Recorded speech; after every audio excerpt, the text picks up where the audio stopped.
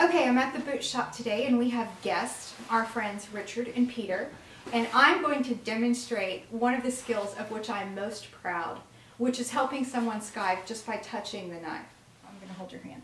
So Peter has already tried skiving and chunked out some pieces of leather, and now I'm going to show how I can help Peter skive perfectly just by touching the knife. Let me get him started.